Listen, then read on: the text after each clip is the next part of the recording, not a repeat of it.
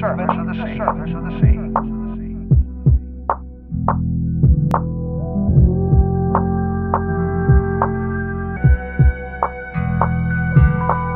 Beneath the surface of the sea. Surface of the sea.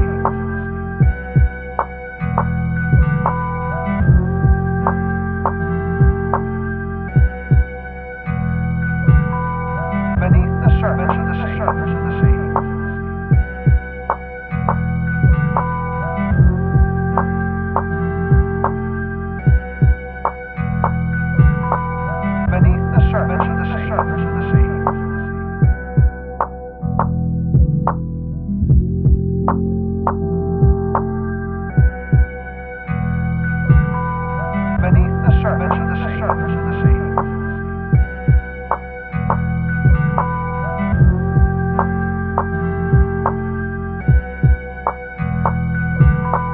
Beneath the of the sea.